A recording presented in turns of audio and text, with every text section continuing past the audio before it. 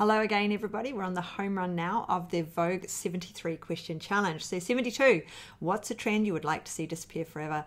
Um, guys with their pants hanging down and their knickers showing or their crack showing and the long bottom, like it's been around since the 80s. Time to move on, guys.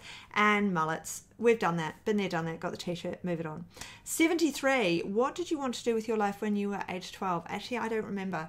Um, 12 was a long time ago, but chances are I was just enjoying life when I was 12. I spent a lot of time outdoors. I spent a lot of time running around. Um, I was out on my bicycle all the time when I was 12. So it's very doubtful I had an idea of what I wanted to do when I was older. Um, what I do want to do now is support you in your life, in your clinical business, and where you want to be.